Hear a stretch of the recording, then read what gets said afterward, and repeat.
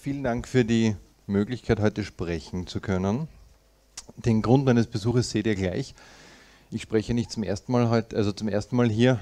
Das letzte, erste Mal habe ich, glaube ich, über Tor gesprochen.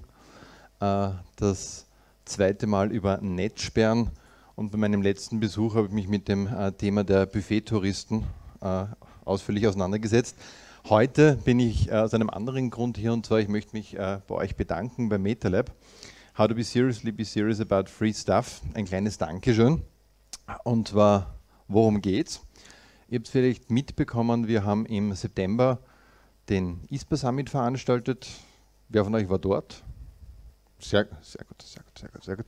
Gut, dann wir, äh, könnt ihr euch noch erinnern an unsere Vortragenden, Aran Balkan, äh, unten die Julia Reder sieht man ein bisschen äh, blass und dann haben wir auch noch die Julia Krüger. War eine sehr gute Veranstaltung. Und es gibt so Luxusprobleme bei Veranstaltungen. Wenn ihr das Catering gecheckt habt, die Location ist in Ordnung, die Sprecher werden sich hoffentlich, sie, hoffentlich nicht alle gegenseitig recht geben, dann äh, hat man Zeit darüber nachzudenken, ob man vielleicht Giveaways hergeben möchte. Und ich denke, da liegt die Latte mittlerweile schon hoch, weil wir geben uns da echt Mühe und versuchen da auch äh, durchaus sinnvolle Dinge zu verschenken. Und zur Zeit des ISPA Summits war das Überwachungspaket gerade groß in Diskussion. Das hat der Tom eh vorher schon angesprochen. Und der Bundestrojaner, beziehungsweise die Quellen-TKÜ war ein heißes Thema. Und dann haben wir uns überlegt, was kann man quasi dagegen machen, dass die Geräte infiziert werden.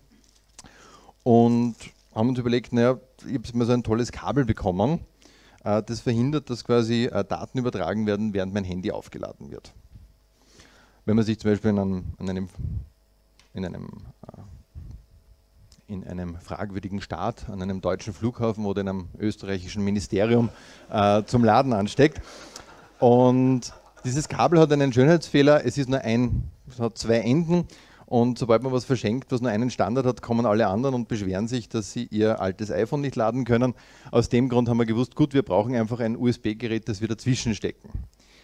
Und wir haben dieses USB-Gerät dann gefunden und haben es bestellt und die Lieferung hat geklappt und dann waren diese äh, 200 Stück da und dann haben wir uns überlegt, ähm, wissen wir eigentlich, was in dem Gerät vorgeht? Und haben dann herumgefragt, wer uns quasi helfen kann, herauszufinden, ob dieses Gerät auch wirklich nur das tut, was es tun soll, also nur den Ladestrom durchzulassen und den Datenstrom zu unterbinden. Und da sind wir von mehreren Seiten auf das MetaLab, also wir sind zu euch geschickt worden. Ich glaube, so kann man sagen.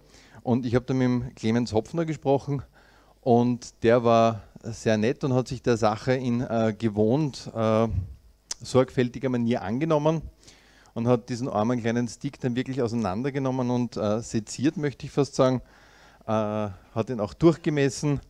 Es wurden erste Schaltpläne erstellt. Ähm, das ist eine Röntgenaufnahme, ist bei meinem Zahnarzt entstanden. Also wir haben wirklich nichts, wir haben wirklich nichts äh, dem Zufall überlassen. Ihr seht hier auch übrigens schön, das sieht man jetzt leider nicht auf der Tonaufzeichnung, oder, äh, dass der Datenstrom quasi hier wirklich zu Ende ist. Die Kontakte enden hier. Und er hat dann, ich habe dann gefragt, du äh, Clemens, kannst du mir jetzt irgendwie bestätigen, dass dieses Ding sicher ist?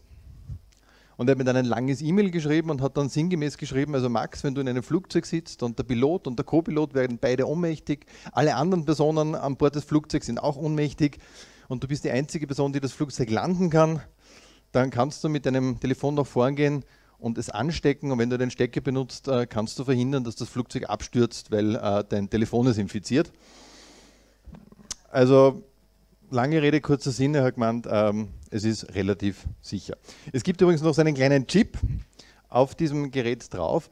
Äh, der ist leider notwendig, weil was ich nicht wusste, wenn man einfach nur Strom ansteckt, vereinfacht ausgedrückt, dann würden die Mobilgeräte nicht laden, weil die brauchen quasi ein Gegenstück, das sagt, hallo, ich bin ein Ladegerät und ich würde gerne mit dir äh, ja, kooperieren. Genau.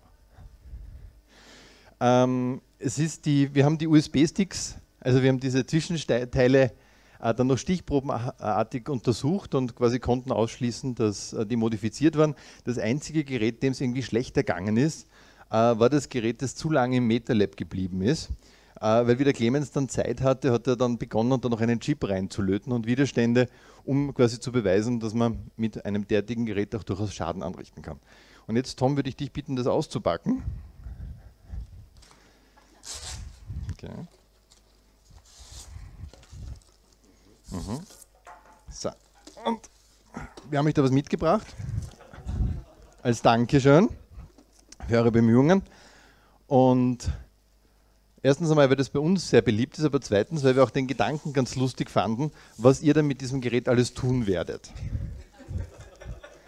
Also bitte äh, tut mir den Gefallen, macht nicht irgendwas Profanes und macht einfach nur, keine Ahnung, einen Bitcoin-Dispender.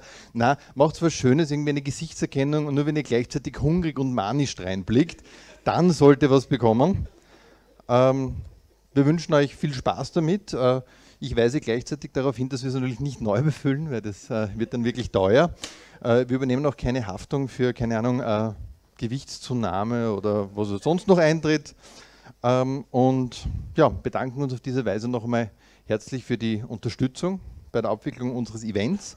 Und wir wären nicht die ISPA, wenn wir nicht noch schnell auf eine Veranstaltung hinweisen würden. Und zwar am 7.12.2017 ab 19 Uhr im Chaya Fuera haben wir unsere Weihnachtsfeier. Und ich wurde schon hingewiesen, das ist ein sehr unglücklicher Zeitpunkt, weil ihr da den nächsten netzpolitischen Abend habt. Aber ähm, ich hoffe, dass doch die eine oder, oder der eine und andere sich nachher zu uns verirren, beziehungsweise vielleicht sogar schon etwas früher gehen. Ihr habt sicherlich ganz tolle Vorträge, die es bei euch zu hören gibt. Bei uns gibt es die Tagespresse-Show. Kann ich nicht versprechen, ich kann es versuchen. Gut, vielen herzlichen Dank und bis zum nächsten Mal.